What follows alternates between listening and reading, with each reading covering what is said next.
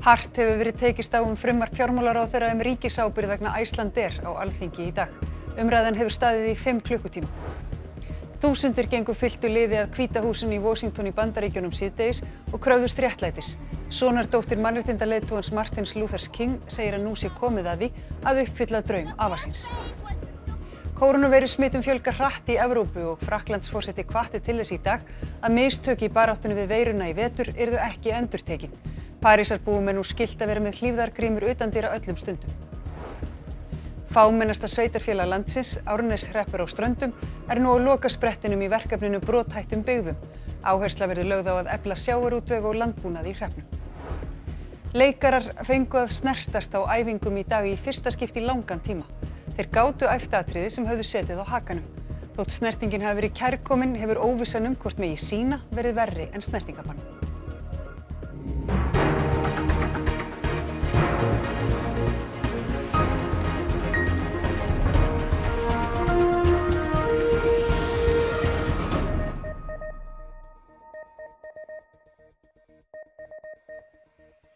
Gott kvöld. Ríkisábyrgð á lánum til Æslandir hefur verið til umræðu og þingi drjúan hluta dagsins og er þar enn rætt. Stjórnarandstaðan hefur líst yfir miklum efasemdum um frumvarpið. Yngvar Þór Björnsson fréttamaður er stattur við Alþingi. Já, síð sumars þing hófst í gær og stendur yfir í um viku. Tilstendur að afgreða mörg stór mál eins og að framlengja hlutabóta leiðina og það fyrirkomla sem tengist launum í sótkví. En þingfundur hóst klukkan hálf tvö í dag og stendur enn yfir og það hefur verið rætt um lítið annað en fyrirhugaða ríkis ábyrð á lánalínu vegna Æslandir. Samkvæmt frumvarpi fjármálaráþara getur ríkið ábyrst 15 miljardar af ríðilega 16 miljardar króna lánalínu til Æslandir að uppfylltum ymsum skilurðum meðal annars því að fyrirhugað hlutafjár út og félagsins klárist.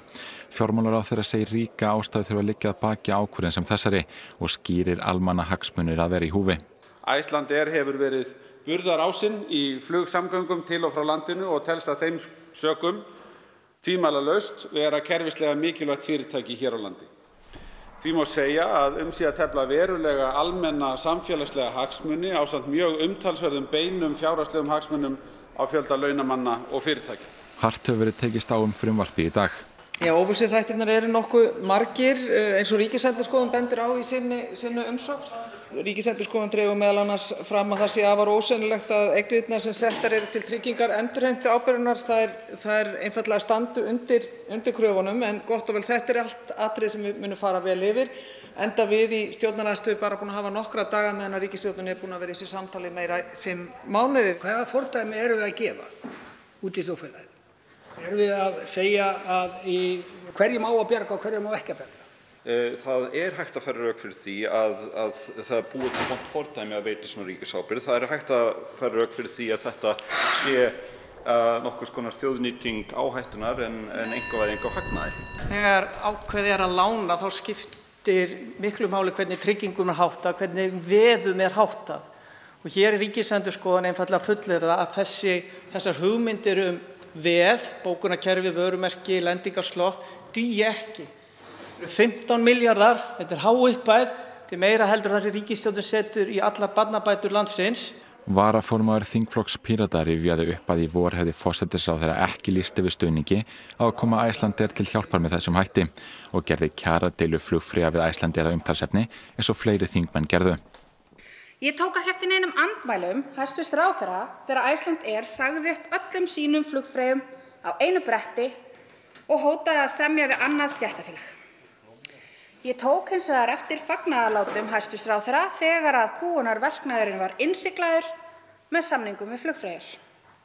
Ég spyr því ráðherra, var það fullnaðar sigur Æslandir yfir kjarabaráttu flugfreyja sem að breytti afstöðunar gagnvart ríkisábyrgð? Nú Katrín Jakobsdóttir fósættisráðherra svaraði fyrirspurn Þórildar Sunnu Ævarsdóttur með því að minna á að frumvarpi snýst um heimild um að nýta ríkis ábyrð og að enn séu sömu skilir til staður og voru nefnd í voru að Æslandir þurfa að semja við lánadrottna og að, að klára sitt hlutafjár útbóð. En þess, þetta mál og fleiri voru rætt á ríkistjórnar fundi í morgun og þar saði fjármálar á þeirra að það ætti að já, stjórnvöld þurfa að draga úr ferðatakmörkunum um leið og aðstáðu leifa en búast má við að þær veri endurumetnar í næstu viku.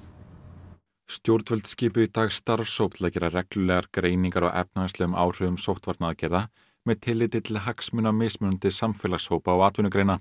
Lagt verið mat á skamtíma áhrif og áhrif á getu hagkerfi sinns til að taka við sér að nýju þegar áhrif faraldur sinns líða hjá. Það eru svo ótal margir þættir sem spil inn í og ég hef lagt á það áherslu að þar er ekki hægt að horfa til uh, einangrara atvinnugreina heldur þurfum að horfa á atvinnulífið í heild og samfélagslega áhrifin sem félast í því að vera hér með víðtakar lokanir á starfsemi innanlands. Eru það enn sannfærum að þið séu á réttri leið með þessum aðgjörum? Já, við uh, tókum ákvarðun núna síðast um uh, skimanir og landamærum út frá sóttvarnar sjónarmiði. Það er að segja til þess að ná tökum á útbreyslu verunar og það sem hefur komið í ljós er að við erum að fá mun fleiri smitt heldur en áður á landamærunum og það helst í hendur við það að smittin eru í vexti í öðrum löndum. Það myndi nú frekar gefa manni vísbendingar um að við höfum verið að taka rétt ákvarðun Eh, vegna þess að einstök smitt eh, innanlands hafa verið að valda mjög miklum tröflunum. Ferðarþjónustu fyrirtæki hafa gaggrínt ráðstafanirnar sem greipi var til fyrir rúmlega viku að komu farþegar þýrt að vera í tvöfaldaskimun og fimm daga sóttkvíu á milli. Þá saði Sæðlabankastjóri að til lengri tíma litið væri verið að vinna landinu stórkostlegan skada með takmörkununum. Að sjálfsögðu skilum maður og maður finnur til með þeim sem er að verða fyrir mestum áhrifum. Það er fólki sem er fyrst og fremst að starfa í engageranum Það eru störf að tapast á almenna vinnumarkaðnum í stórum stíl og það er högg, finna sem fjármálar á þeirra, ég sé að tekjurnar eru að hverfa og við þurfum sem fyrst að snúa þessari stöðu við. Hvenar heldur að rétt sé að endur skoða þessar lokanir á landamæðin? Ég segi hver dagur er mjög dýr í þessu. Uh, þannig að við mögum ekki vera degi og sein þegar aðstæður hafa breyst okkur í vil og okkur líður vel með að taka þá ákvörðum þá hefur við að taka hana um leið og aðstæður leifa. Það verður gert með reglulegum hætti, nú er uh, tíu dagar síðan þessar ástafanir tóku gildi og við gerum ráð fyrir því að vera að meta þær í raun og veru alltaf á tvekja vikna fresti. Fóristukonur verkalýsfélag gaggríndu í, í dag eh, þennan einsleita starfsóp fjármálar á þrá og hér hjá mér er Drífa Snædal, fósetti ASI. Drífa, hvernig horfur þessi starfsópur við þér? Þetta er náttúrulega afskaplega gamaldags að skipa starfshóp þar sem er bara verið að fjalla um efnaðasmál út frá hagsmunum fyrirtækja eins og hópurinn er skipaður.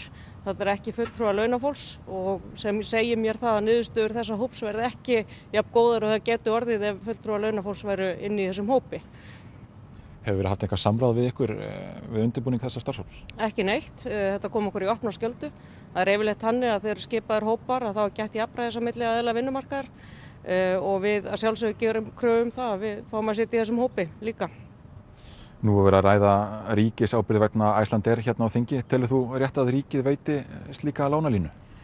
Það er alveg ljóst að ef ríkið ætlar að fara inn með svona ríkisábyrð gagvart Æslandeir að þá þarf að ganga og skugga um það að þeir taktar sem Æslandeir síndi gagvart sínu starfsfólki í sumar að þeir vera ekki enduteknir og að þetta fyrirtæki uh, virði lög og reglur á íslensku vinnumarkaði Það er mjög, mjög viðfengjalegt hvort að þeir hafi gert það og við erum stöndum fórstu fótum á því að þeir hafi brotið lögur stjættafjölu og vinnutélur.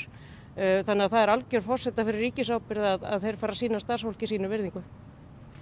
Takk fyrir þetta drífa og nú síðdeis hóst flokksásfundur Vinsti Grætna og Katrín Jakobsdóttir ávarpaði fundin klukkan hálf sex og, og þar snýrist já flestum koronavirufaraldurinn.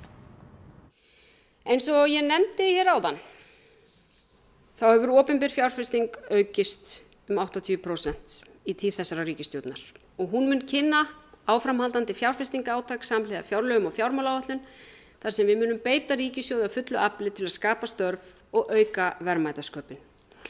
Markmiðið er skýrt við ætlum að vaksa út úr þessari kreppu, við ætlum að standa vörðum heilbriðis og velferðarkerfi, við ætlum að tryggja þeim sem standa frammi fyrir atvinnum í sér nýtækifæri, ímist til að fá ný störf eða sækja sér mentun.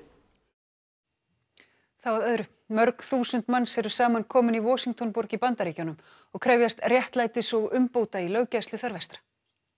Þess var minnst í dag að 57 ár eru frá kröfugöngurinn 1963 þegar bandarækjaman flestir dökkir á hörund gengu að kvítahúsinu og minnismerkinu um Lincoln fórsetta og kröfðust bættra kjara, sanngýrni og réttlætis. Þá flutti Martin Luther King draumaræðu sína um að börn hans gætu búið í landi þar sem þau eru ekki dæmt eftir litarhætti sínum heldur af eigin verleikum. Börn hans og barnabörn stóðu á sömu tröppum nú síðdeis.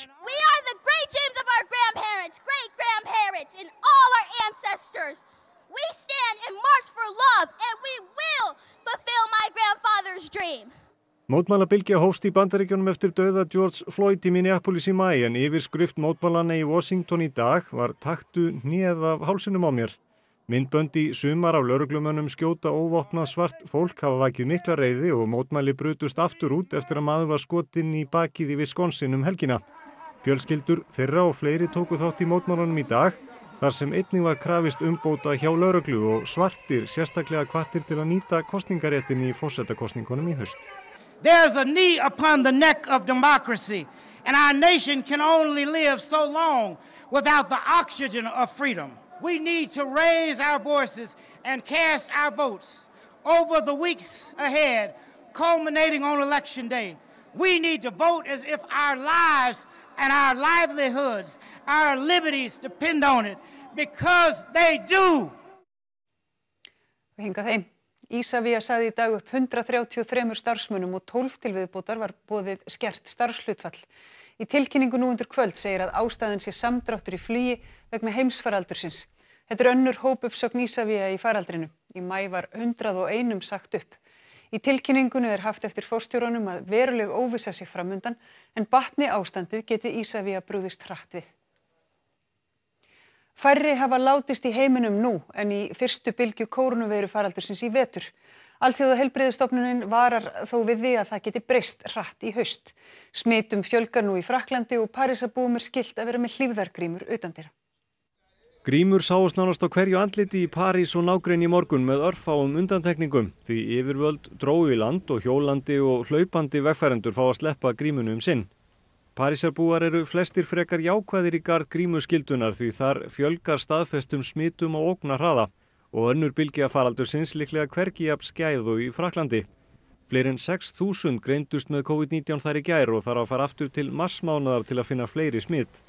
Alþjóða helbriðistofnunin varar við þessari þróun, smittum fjölgi hratt í meir en helmingi Evrópuríkjana og fjölgunin borin uppi af ungu fólki og því sé hlutfall þeirra sem leggjast inn á sjúkrahús eða deyja vegna sjúkdómsins mun læra enn í fyrstu bylgjunni. Það kunni þó að breytast í höst. It may be that the younger people indeed are not necessarily going to die from it, but it's a tornado with a long tail and it's a multi-organ disease. So the virus is really attacking lungs, but also heart and other organs. And at one stage, younger people, particularly with the winter coming will be in more close contact with the elder population. Yfirvöld í nágrannaríkjunum óttast hraða útbreyslu frá Fraklandi og breytar, þjóðverjar og belgar gera nú frökkum sem þangað koma að fara í sótkví. Macron, Fraklands fósiti gaggrindi ferða hömlur millir ríkja Európusambassins í dag. Ekki mætti endur taka leikin frá því í vetur þegar landamærum var lokað, langar bílaraðir mynduðust og óvissan var mikil. Ce à quoi j'appelle c'est plutôt la coordination européenne. Et je pense que ce qui est important, c'est d'ailleurs ce que la France a proposé au niveau européen et ce qu'il faut réussir à faire aboutir dans les prochains jours, c'est de ne pas répéter les erreurs du mois de mars dernier. Nýjar áherslur er í verkefninu brotættum byggðum í Árnesreppi á Ströndum sem er nú á lokasprettinum. Ebling sjávarútvegs og landbúnaðar hefur verið sett á ottin. Verkefnið Áfram Árnesreppur hóst 2017 með það markmið að ebla byggð og atvinnulífi í sveitarfélaginu og stöðva viðvarandi fólksfækkun. Árnesreppur er fámennasta sveitarfélag landsins með 43 íbúa en innan við helmingur þeirra dvelst þar allt árið. Hingað til hefur ebling ferðarþjónustu verið í forgrunni í styrk útlutunum.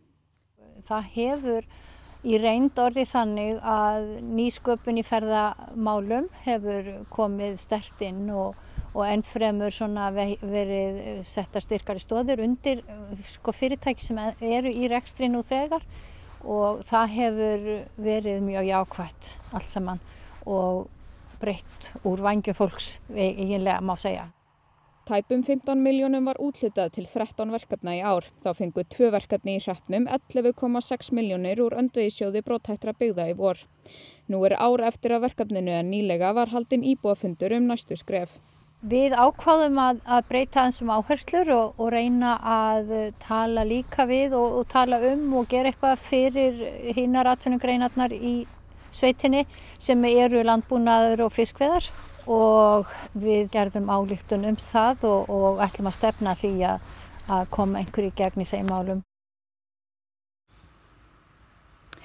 Já, við erum hérna í Árnesreppi þar sem að brotatabygðir eru nú að hefja loka sprettin en hjá mér er hann Arne Björn Bernhardsson, þú sinnir formensku í verkefnastjórn brotatabygðira hérna í hreppnum. Uh, sjáurútur og landbúnaður, hvað sjáu þið fyrir ykkur í því? Við sjáum það nú helst fyrir okkur því að það þurfi nýliðun í landbúnaði og tilslaganir í þannig að nýjir yngri menn getur tekið við og í sjáaradeginum fáum við ekki byggða kvota nema örf á tonn og það er fórsöndum fyrir því að við fáum ekki byggða kvota það er vegna þess að það er ekki fiskvinnslæðina. Fiskvinnslan getur ekkert verið hér þegar sem það er ekki þryggja fassa ramagn og þá gengur það ekki. Við framleiðum allan ís, við getum ekki framleitt ís öllu heldur, hann er kerður að og það er alltaf aukinn kostnæri kringum það. Á þessum tíma, það eru 43 íbúðar í hreppnum og þeim hefur ekki fjölgað margtækt á þessum tíma. Er, er verkefnið að skila árangri? Jó, verkefnið sem slíkt er að skila árangri en það er, það er náttúrulega alltaf erfitt með fólksfjölgun þegar að atvinnutækifærin eru fá. Svona verkefni þarf að skila þannig að það verði til vinnaði en það eru góð verkefni í gangi. Það er, það verður ekki vestum hérna hefðu við ekki fengið styrkur brotnum byggðum og svo er stóru uppbyggingu við sundlaugina hérna sem skiptir sköpum fyrir túristan, þar koma líklega tíðust manns á sömri allt upp í 250 manns á dag sem er alveg mikið þessu sveiði og svo er sleðaferðir á strandum sem er góð nýjung í flórunna sem þeir í djúpaði kafi séðum og svo er þessi markaðsetning sem, við, sem er um ferðarþjónustu hefur fengið styrk til að markaðsetja og það skilaði verulegum árangur í sumar. En áskoranirnar hérna fyrir norðan, hvað stendur ykkur helst fyrir þrjöfum? Það eru samgöngur, við þurfum að fá helsásveg í Tryggilsvík, það skiptir máli. Og svo vantar hérna þryggjáhasa ramagn, það er til dæmis ef fólk allar að fá sér varmadælu þá eru þessa einsvasa varmadælur markvælt dýrari og ítsframlegsla og ímislegt annað sem við höfum hugað að hér. Takk fyrir Ari Björn. Já, það eru innviðnir fyrst og fremst hérna í Árnesreppi sem að þurfa á bótum að halda til þess að uppbygging geti haldið áfram. En við hveðjum hérna norðan á ströndum. Takk fyrir það, Elsa Marí. Hvennaðat hvar hefur verið opnað með formlegum hætti á Akureyri? Atkvarfið er viðbóti starfsemi bjarmarhlíðar sem sinnir þjónustu við þólendur ofbeldis á Norðurlandi. Það verður rekið í samstarfi við Sveitafjölu og Norðurlandi Eistra og Aplið á Akureyri á samt félagsmálaráðuniti og dómsmálaráðuniti. Til þessa hefur ekkert búsættu úrræði verið utan Reykjavíkur fyrir konur og börn sem þurfa að flýja heimili sitt vegna ofbeldis. Tvær af hverjum tíu konum sem nýta sér hvenna atkvarfið í Reykjavík koma utan af landi. Opnum hvenna atkvars á Akureyri er tilraunaverkefni til vors en við opnunina kom fram að líklega er þið full þörf fyrir rekstur þess til framtíðar. Donald Trump var í gær formlega útnefndur fórsetaefni republikanaflokksins fyrir fórsetakostningarnar í nóvember. Það var öllu tjálta til að loka kvöldi landsfunda republikanaflokksins en fundinum lauk með flugaldasýningu við Kvítahúsið í Washington. Mótmælendur komu saman þar skamt frá, flestir á bandi Joe Biden frambjóðanda demokrata. Biden er enn með gott fórskot sangvænt könnunum en nú fyrir hönd tíu veikna kostningabaráta sem verður líklega eins og skrautlegasta og harðasta um langt skeið. Trump segir kostningarnar þær mikilvægustu í bandarískri sög. At no time before have voters faced a clearer choice between two parties, two visions, two philosophies, or two agendas. This election will decide whether we save the American dream or whether we allow a socialist agenda to demolish our cherished destiny. Snerting var leifð í dag á æfingum leikúsana í fyrsta sinn frá því að faraldurinn skall á. Hinga til hafa leikarar þurft að virða tveggja metra regluna á æfingum og því hafa atriði sem krefjast líkamleira snertingar orðið að sitja á hakan. Fyrsta frumsýning borgarleikúsins á þessu leikári verður 18. september þegar Óli Anna eftir David Mamet verður sínt. Verki var nánast tilbúið í vor en vegna COVID stoppaði allt í mars. Verkið sem aðeins tveir leikar að taka þátt í hefur á undanförnum, eftir að það var leift, verið eftir með að minnstakosti tveggja metra millibili. Það hefur auðvitað verið áskorun, það hefur verið náttúrulega ekki hægt að, að snertast og, og eins og í þessu verki að þá eru átök sem að kref, eða, víst, það er, það, leikar að verða að snertast og, en við svona bara sneitt hjá því og, og eftir allt hitt sem hægt er að æfa og svo bara tölum við okkur í gegnum átökinn og svo bara höldum við áfram. Þannig að þetta er, þetta er búið mikil áskorun. Hilmir Snær leikur vinsalan háskólakennara og Vala Kristín Einarstóttir námsmann sem kemur í námsviðtal sem umbylti lífi þeirra begja. Þau segja að það sem hafi kannski skipt meira máli en tveggjametarreglan var óvissan hvort hægt til því síðan að sína. Aðeins 60 áhöröndur verða leifðir í rúmlega 200 manna sal. Bara að fá að sína þetta fyrir þó það er ekki nema tíu manns, það væri bara stórkostlegt þetta búið verið svo lengi í, í pípanum. Og í dag mátti í fyrsta sinn æfa með snertingu. Já, ég svaf ekkert. Ég, ég gæti ekki beðið eftir að fá koma við Hilmi. Einmitt, einmitt. Já, til, jú, jú, það verður alltaf gott að geta að byrja að, hérna, að setja hluti sem að hafa setið á hakanum. Jú. Já, það verður gott. Við skulum sjá og heyra aðriðuleikritinu þar sem einn langþráðasnerting er lofs, leifileg. Ég er að tala við þig eins og ég myndi tala við són minn. Skilur? Af því að ég vil að hann fái þar sem að ég fekk ekki. Ég er að tala við þig eins og eins og ég hefði óskað þess að einhvern hefði talað við mig. Skilur? Og ég kann ekki að gera öðruvísi en að vera persónulegur. Af hverju viltu vera persónulegur við mig?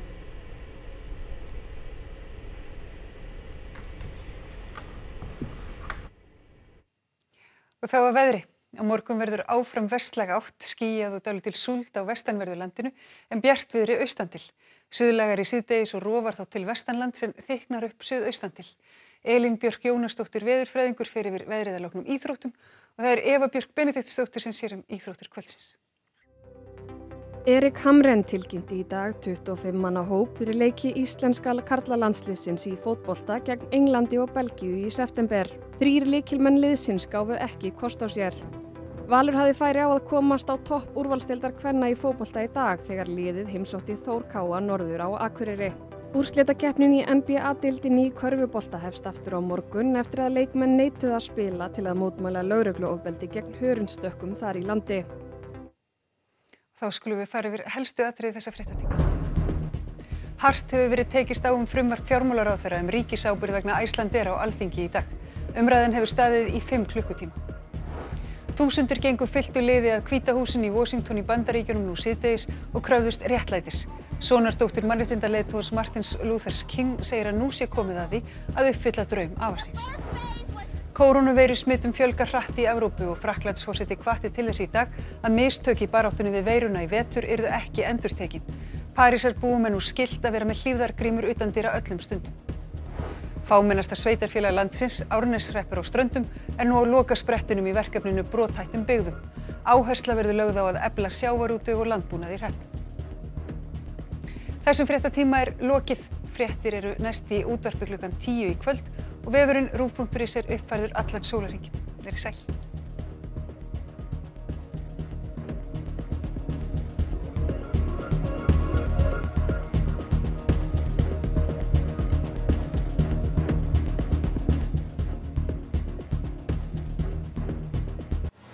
Á rúf í kvöld.